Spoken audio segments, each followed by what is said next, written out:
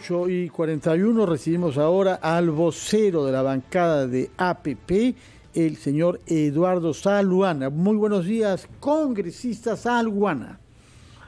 Fernando, buenos días y saludos a Carlos y Mónica. Buenos días. De todos los miembros, creo que usted es el que más experiencia tiene, porque me parece que ya hace más de 30 años estaba en el Congreso, ya y entre tanto ha sido ministro y ha tenido responsabilidades evidentes incluso en varios partidos, me parece. Ahora forma parte de una bancada de 15 miembros que muchos asocian con el centro, con el fiel de la balanza, de manera que si eso es verdad, quisiera ver cómo están juzgando lo que se debe hacer el jueves próximo cuando el gabinete Bellido se presente a solicitar la confianza ante la representación nacional.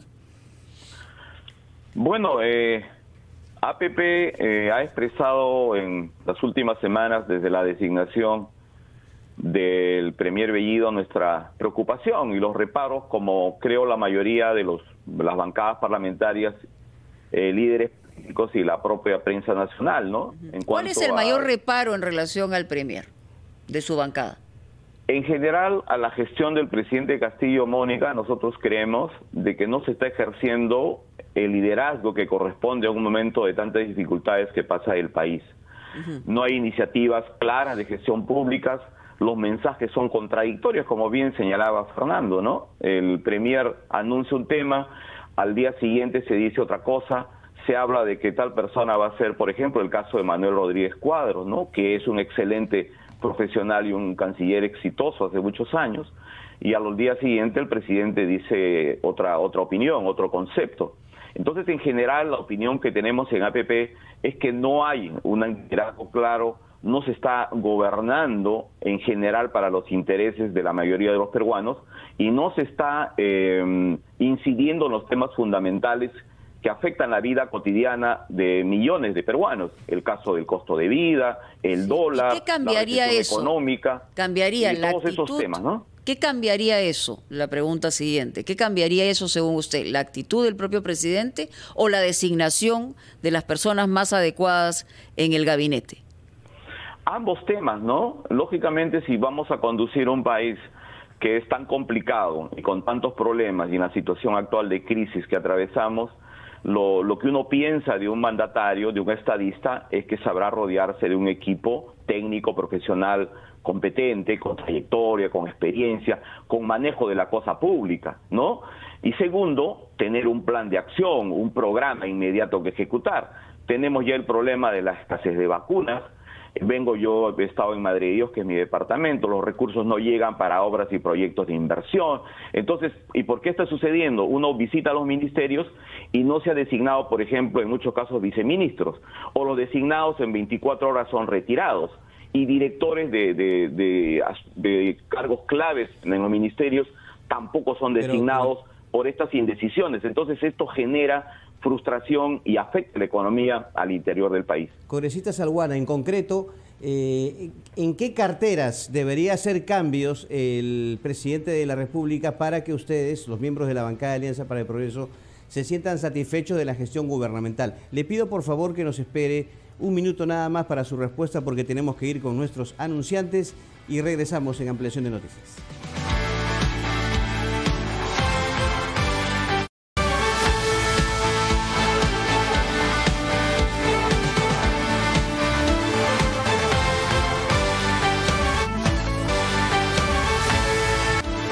Ampliación de noticias, 8 y 48 de la mañana. Mónica Delta, Fernando Carballo y Carlos Villarreal los acompañamos el día de hoy. Estamos conversando con el congresista Eduardo Salguana, vocero de la bancada Alianza para el Progreso.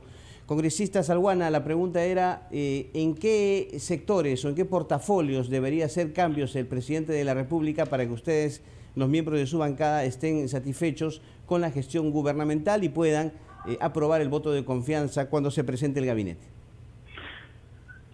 Más que, más que personas, este, Carlos, eh, APP lo que ha planteado de manera permanente a través de los medios de comunicación y en la visita que se le realizó al primer Villido es que le den al país una ruta clara, es decir, a dónde vamos, qué instrumentos de gestión pública van a utilizar, a qué aspectos van a destinar los presupuestos públicos, qué aspectos se va a encarar de manera urgente en los próximos 100 días o 6 meses, por ejemplo. Y esos temas los debatiremos además de los cuestionamientos que hay sobre designaciones concretas.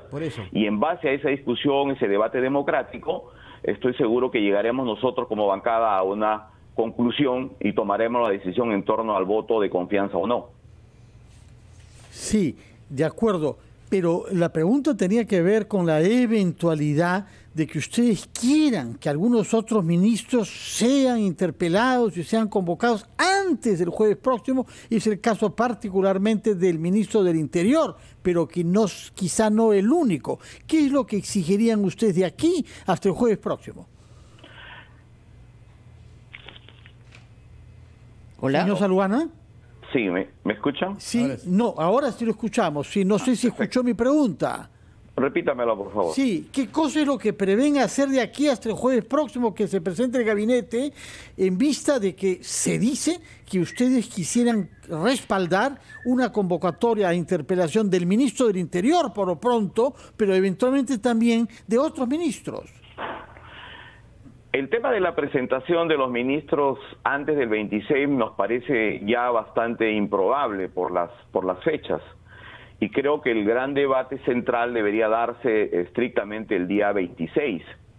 Más aún, más aún eh, Fernando, que ya estando instaladas las comisiones parlamentarias, el, primero, el primer acto, la primera sesión que, que se estila hacer es invitar al ministro del sector para discutir y para debatir los temas de la política de gestión. Y en estos casos, lógicamente, los cuestionamientos serios que hay en algunos casos concretos, ¿no?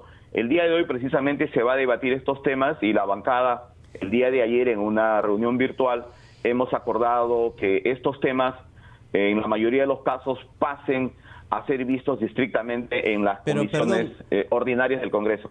Pero perdón, eh, congresista Salguana, por ejemplo, su bancada eh, está respaldando o lo va a hacer en el tema de la moción de censura que se quiere plantear al ministro del Interior, está corriendo la moción y están recabando firmas. ¿Ustedes la van a respaldar? No, en ese sentido no, Carlos. ¿Por qué? Nosotros creemos que los, que los temas centrales de la gestión del presidente Castillo los vamos a discutir ahora el día 26, que estamos exactamente a una semana. Eh, los temas de censura hemos, hemos acordado como bancada no respaldar por ahora. Vamos a entrar al debate el día 26 y la presentación de los ministros que se produzcan en cada comisión en la cual corresponde. ¿Qué sería lo más saludable en términos políticos, en términos de país, que eh, en el que debería reflexionar el gobierno en relación a su gabinete antes de la presentación del mismo. Más allá de nombres, como usted ha señalado, es decir, si permanece o no permanece el primer vellido, ¿no? Los eh, que están cuestionados, todo el mundo ha expuesto, digamos, las razones por las cuales se ha generado una controversia. Muchos han dicho que esa designación de gabinete ha sido una designación de un gabinete de choque precisamente para no eh, tener la confianza en el Congreso de la República y prematuramente se está hablando de eso y también se está hablando eventualmente censuras o eventualmente vacancias. Entonces, ¿qué sería desde el punto de vista de APP? Eh, que tiene una representación importante eh, dentro del Congreso y que podría inclinar una balanza a favor o en contra de algo, ¿qué sería lo más saludable según ustedes? Eh, tú has tocado temas importantes, este, Mónica. Nosotros creemos que temas de censura, de vacancia presidencial, de una em, presentación un poco apresurada de ministros, inclusive para pretender censurarlos, y aclarando que la censura viene después de la interpelación, ¿no? que es el primer acto que se realiza, ¿no? genera una mayor inestabilidad política a la cual, en la cual ya estamos sumidos.